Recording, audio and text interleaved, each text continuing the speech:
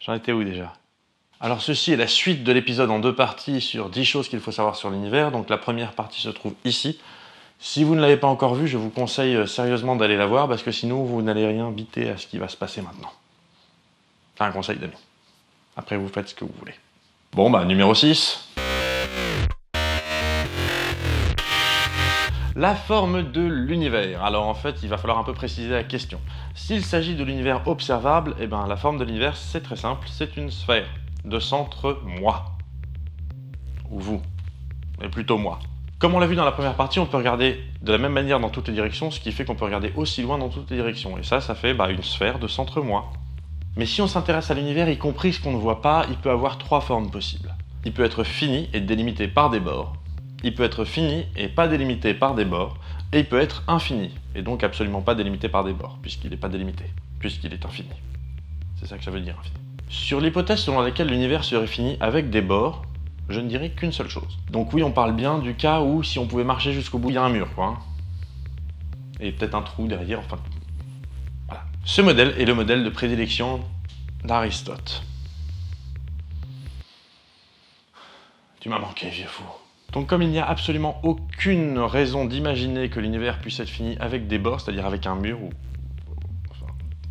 c'est complètement con, quoi. Je veux dire, vous imaginez, c'est-à-dire qu'on arrive au bout, et puis après quoi, on tombe, il y a un mur, si on pousse le mur, il se passe quoi? Puis sans compter que si après le mur, il y a quelque chose, ou que s'il y a un trou et qu'on tombe dans quelque chose, bah ça veut dire qu'on n'est pas au bout de l'univers, puisqu'il y a encore quelque chose. Ça n'a aucun sens.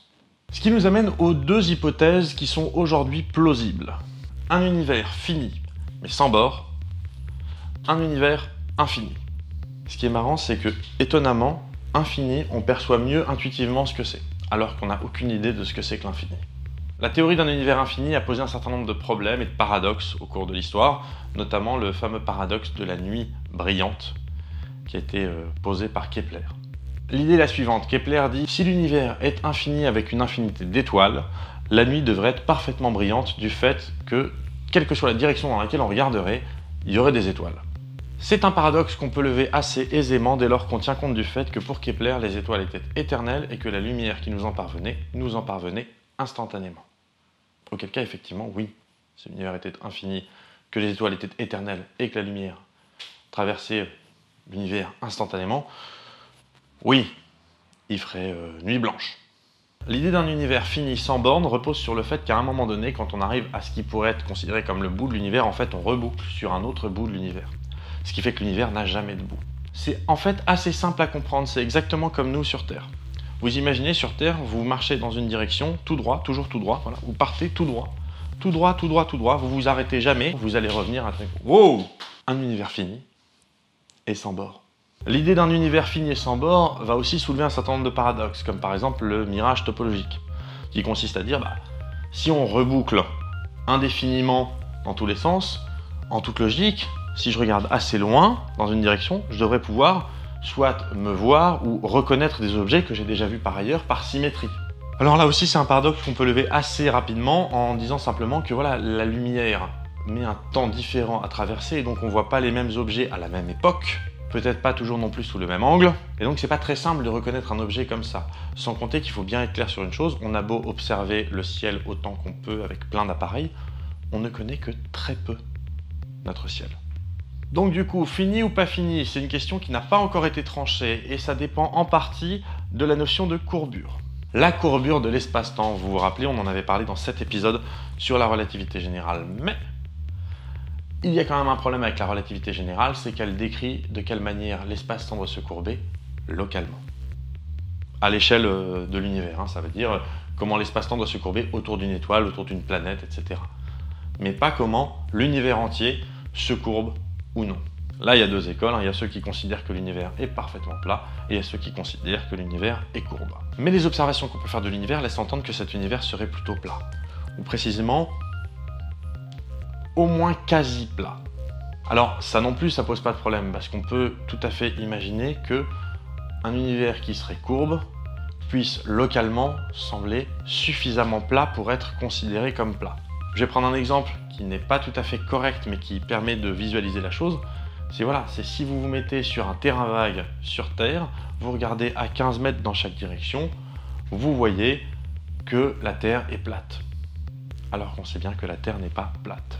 Alors c'est une vision qui est assez impropre parce qu'en l'occurrence, la courbure de l'univers, s'il est courbe, est telle que son horizon se situe à 46 milliards d'années-lumière.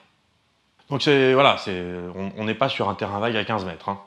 En tout cas, tout le monde semble être d'accord sur un point, qui est que partout où on regarde euh, dans l'univers, il semblerait qu'on voit à peu près la même chose. C'est-à-dire qu'on voit une distribution qui est à peu près régulière de galaxies, euh, de gaz, de poussière, etc. Partout où on regarde. Ce qui laisserait entendre que l'univers est homogène. Homogène, c'est bah, exactement ça que ça veut dire. C'est-à-dire que partout où on regarde, on voit à peu près pareil. Mon intervention ne sert à rien. Continuez, continuez. Or, mathématiquement, si l'univers est homogène, cela laisse entendre qu'il a une courbure qui est constante. Donc, à minima, l'univers est soit plat, soit courbe avec une courbure constante, mais en tout cas, il ne fait pas euh, porte nawak, euh, faites du slip, quoi. Ce qui est rassurant. Bah là, pareil, hein, l'univers observable, il grandit dans l'univers. Bon, donc là, aujourd'hui, il a un rayon de 13,8 milliards d'années-lumière pour ce qui est visible. Mais dans 1 milliard d'années, ce sera 14,8 milliards d'années-lumière. Et voilà. L'univers lui-même, en revanche, dans quoi grandit-il? Aïe, ça, ça dépend s'il est fini ou s'il est infini. S'il est infini, il n'y a pas de problème, il grandit dans lui-même. C'est incompréhensible, mais c'est correct. Et j'aime ça. C'est l'avantage avec l'infini, c'est qu'on n'en manque jamais en fait. Donc il peut continuer de grandir dans lui-même. Il pourrait même se contracter dans lui-même, ça ne pose aucun problème, il est infini. Donc, il y a de quoi faire. S'il est fini sans bord, en revanche, c'est beaucoup plus sioux à percuter. Parce que fini sans bord, ça laisse entendre que quand même il est dans un, pour faire simple, un volume. Il ne s'agit pas de volume, on est dans l'espace-temps. Disons un volume fini. Donc qu'est-ce qu'il y a hein, au-delà de ce volume? Sauf que je rappelle, sans bord, ça veut dire que le volume reboucle sur lui-même. Donc il est tout à fait possible que cette question n'ait concernant un univers fini sans bord absolument aucun sens. Comme il est tout à fait possible qu'elle ait énormément de sens et qu'il y ait effectivement quelque chose au-delà. Et c'est de cette manière, et de cette manière seulement, qu'on peut répondre à une question sans y répondre. Suivante.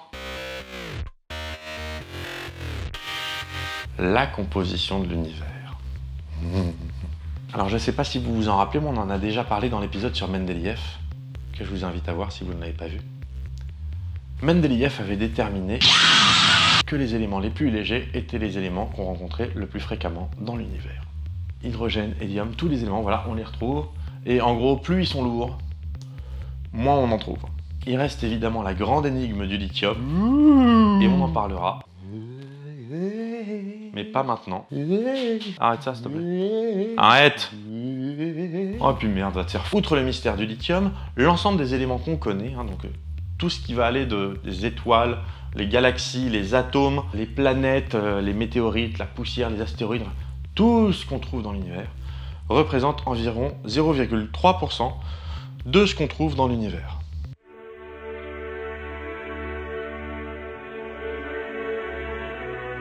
Cette phrase est super chelou. Je vais le redire un peu mieux. En fait, ce qu'on sait observer, ce qu'on sait regarder, quantifier et calculer représente environ 0,3% de ce qui se trouve dans l'univers. Et t'as encore oublié les baryons. Les baryons sont également un ensemble de particules qu'on connaît, hein, comme les, alors les, plus, classiques, c'est les protons et les neutrons, il y a également les deltas, les lambda, les sigma. Bref, il y a de quoi en faire des fraternités pour toutes les universités d'Amérique pendant des siècles et des siècles. Et en gros, la matière classique plus les baryons, ça représente environ 4% ce qu'on trouve dans l'univers. Et là, vous me dites, il en manque. Certes, je suis immédiatement et par avance désolé pour le teaser que je vais vous faire maintenant.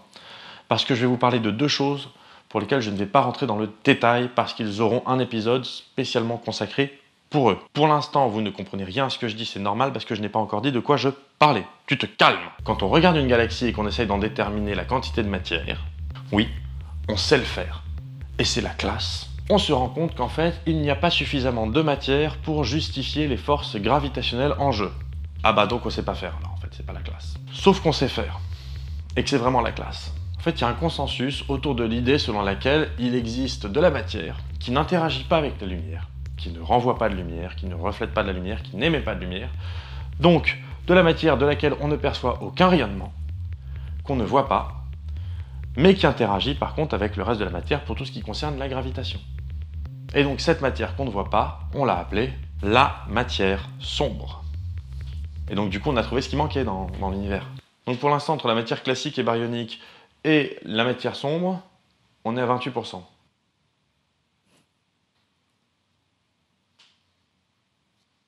Ce qui nous amène au deuxième point dont on ne va pas parler aujourd'hui dans le détail parce que c'est pas l'objet de l'épisode en cours et qu'il aura son propre épisode. Même si je sais que ça fait longtemps que vous me le demandez et que bah, je suis désolé mais il faudra attendre encore un petit peu. L'univers est en expansion, ce qui fait que globalement les objets s'éloignent les uns des autres dans l'espace. Même si évidemment localement euh, des objets peuvent s'attirer. Il y a des galaxies qui rentrent en collision, ça arrive pas par hasard, ça arrive parce qu'il y a des forces gravitationnelles en jeu et qu'elles s'attirent, voilà, mais c'est local tout ça. Globalement, tout s'éloigne, mais les forces gravitationnelles font que cet éloignement ralentit au fur et à mesure. Faux En fait, ce qui se passe, c'est que les objets s'éloignent de plus en plus vite les uns des autres. Il y a une accélération à l'expansion de l'univers. Et ça, c'est pas banal. C'est pas banal parce que pour qu'il y ait accélération, il faut qu'il y ait une force en jeu, il faut qu'il y ait de l'énergie quelque part. Hein. Les choses n'accélèrent pas sans raison. Quand il n'y a pas de raison, les choses restent immobiles ou continuent d'aller tout droit à la même vitesse. Pour accélérer, il faut qu'il y ait quelque chose. Le problème, c'est que cette énergie qui doit être là, on la voit pas. Et du fait qu'on la voit pas, on va appeler ça l'énergie sombre. Et cette énergie sombre représente 72% de notre univers. attention, je précise quand même une chose, puisque je ne suis pas rentré dans le détail concernant matière sombre et énergie sombre. Ce sont des théories sur lesquelles aujourd'hui il y a un consensus il y a un certain nombre d'indices qui vont dans ce sens-là, mais euh, on n'en est pas encore à mettre son bras à couper. Enfin, sauf deux, trois probablement qui, eux, mettraient leur, bras à couper. Sinon, non. Et pour ceux qui se demanderaient si c'est pas un peu comme l'éther, justement, dont on avait parlé dans l'épisode d'introduction à la relativité restreinte, alors, il y a quelque chose en commun avec l'éther, c'est l'idée que c'est quelque chose qu'on a conceptualisé sans aucune raison a priori, simplement pour que ça se conforme avec l'idée qu'on se faisait de ce qu'on observait. Sauf que dans le cas de l'éther, on s'est rendu compte assez rapidement que ça posait beaucoup plus de problèmes que ça n'en résolvait, et que dans le cas de l'énergie sombre et de la matière sombre, ça marche quand même vachement mieux avec. Vachement mieux. Et si vous avez envie de laisser un commentaire pour dire que vous n'êtes pas d'accord et que selon vous ça n'existe pas, vous devrez commencer ce commentaire par une explication de pourquoi l'expansion euh, des objets dans l'univers s'accélère. Voilà. Ce sera le prérequis. Le fond diffus cosmologique ou encore rayonnement fossile ou en anglais Cosmic Microwave Background qu'on appelle aussi régulièrement CMB. Comme ma... Ce rayonnement en fait c'est quelque chose de relativement simple à piger c'est la première lumière qui nous parvient du Big Bang. Quand on regarde loin, loin, loin, loin, loin, loin, loin, loin, à 13,8 milliards d'années-lumière, on ne peut pas vraiment regarder au-delà parce que, en tout cas dans l'idée qu'on se fait du Big Bang, avant, l'univers n'était pas transparent, il était opaque. Les photons ne pouvaient pas s'échapper de l'espèce de soupe dans laquelle ils étaient. Or, pour qu'on puisse y voir quelque chose, il faut qu'il y ait un photon qui s'échappe et qui vienne jusqu'à nos yeux, ou jusqu'à nos radiotélescopes, ou jusqu'à notre capteur, quel qu'il soit. Donc globalement, pendant les premiers 400 000 ans qui ont suivi le Big Bang, l'univers n'a pas émis de photons. Et au bout d'un moment... Vol, petit photon Vol Et c'est ainsi que l'univers est devenu transparent. Et donc quand on regarde dans toutes les directions, aussi loin qu'on peut, on arrive à capter ces premiers photons, qui sont vraiment l'état le plus jeune qu'on puisse observer de notre propre univers. Ce rayonnement, quand on le met en place sur une carte, on appelle ça le fond diffus cosmologique. Ce rayonnement, on l'appelle le rayonnement fossile parce que c'est le plus vieux rayonnement qu'on soit capable de percevoir, en tout cas pour l'instant. Et il y a une anecdote très très marrante autour de la découverte de ce rayonnement fossile. On en parlera, il y aura un épisode là-dessus. A noter d'ailleurs que si vous avez des télés sur lesquelles on peut encore voir de la neige quand vous ne captez pas de chaîne, un certain pourcentage de cette neige, 2 ou 3% de ces points je crois, sont en fait dus au rayonnement fossile. Donc on peut le voir à l'œil nu. On ne le capte pas aussi bien que WMAP, mais on peut le voir à l'œil nu. Et ça, c'est beau. Alors ça, c'est le beau projet. Celui-là, c'est mon chouchou. Et si je l'ai gardé pour la fin, c'est pas parce que c'est le plus compliqué ou qu'il y avait vraiment besoin d'avoir eu tous les autres en prérequis, mais c'est parce que c'est la chose la plus belle qui m'ait été donnée de voir concernant l'univers. Si on essaye de représenter dans un espace en trois dimensions, l'espace qu'on connaît, l'ensemble des galaxies qu'on peut observer, avec un positionnement qui est correct par rapport à nous. Donc en respectant les distances des objets les uns par rapport aux autres. On fait ça avec des très très gros calculateurs. On fait des simulations qui durent très longtemps. Simulations qui permettent par ailleurs de vérifier quand on modélise le Big Bang que si on laisse courir le temps, on arrive bien à l'univers qu'on connaît. Et c'est pas rien ça. A priori, ce qu'on voit quand on met en place ces différents éléments, bah, c'est que voilà, il y a une distribution globalement homogène des galaxies dans l'univers. Il y en a un peu partout. C'est un peu comme un ciel étoilé, sauf qu'au lieu d'étoiles, ce sont des galaxies. Bon, mais si à ces galaxies, on représente de façon visible la matière sombre, on se retrouve avec une image qui est tout à fait différente. Et là, vous vous retrouvez face à l'univers tel qu'il serait si on voyait la matière sombre, mais tel qu'il est vraisemblablement qu'on la voit ou pas. Et sur cette animation, je précise que chaque point jaune que vous voyez, chaque point jaune, pas chaque tache jaune, chaque point jaune que vous voyez est une galaxie. Et la matière sombre est représentée en rose. Tu veux dire en blanc, mon vert? Ouais, ta gueule. Et on se rend compte que toutes ces galaxies, cette matière sombre, s'arrangent euh, assez proprement pour former des espèces de filaments, des filaments d'univers, des filaments de galaxies. On sait parfaitement justifier mathématiquement pourquoi ça se passe comme ça. Mais la vérité, c'est qu'on ne sait absolument pas expliquer la beauté de ce truc. Les anthropomorphistes pourront pas s'empêcher de dire que ça représente à des cellules du cerveau, ou à du tissu nerveux, ou à des trucs de chez nous, ok, ou à une éponge même, enfin ce que vous voulez, mais on m'enlèvera pas de l'esprit que ce truc-là est putain de beau. Merci à toutes et à tous d'être de plus en plus nombreux à vouloir y penser. Donc au cours de ces deux épisodes, j'ai parlé d'un certain nombre de choses sans rentrer nécessairement dans le détail. Certains des sujets évoqués auront leur propre épisode, donc on verra le détail un peu plus tard. Mais pour eux comme pour les autres, je vous invite à regarder dans la description, il y a un paquet de liens, hein, de toute façon, comme à chaque fois. Si jamais vous voulez en savoir plus, plus d'informations, je vous invite notamment à regarder les conférences de Jean-Pierre Luminet sur ce qui concerne la forme de l'univers, si vous êtes intéressé par les univers finis sans bord. Oui. Pour cet épisode, comme pour le précédent, j'ai envie de dire que c'est exactement la même chose. Si ça vous a plu, vous cliquez sur ce truc-là sous l'écran. Si ça vous a pas plu, vous cliquez sur ce truc-là sous l'écran. Mais il faut pas le faire, parce que ça rend impuissant. Je dis ça, je dis rien c'est vous qui voyez. Pour être au courant de tout ce qui se passe sur la chaîne et de tout ce qui se passe dans ma vie, sauf dans ma vie perso, parce que ma vie perso c'est ma vie perso, vous pouvez vous abonner donc sur la chaîne YouTube, vous pouvez vous abonner à Twitter ou à Facebook. Vous pouvez laisser avec plaisir des commentaires, que ce soit sur YouTube ou sur Facebook. Euh, sur Twitter, vous pouvez envoyer des petits messages, notamment si vous avez des, infos à partager, des articles, des choses comme ça. Je suis toujours preneur parce que pour peu que ce soit intéressant, bien sûr, si vous m'envoyez un truc, c'est de la daube, bah, ça reste de la daube. On se retrouve très bientôt pour un épisode quickie qui va nous permettre un petit peu de refroidir le cerveau. Donc d'ici là, restez curieux et prenez le temps d'y penser.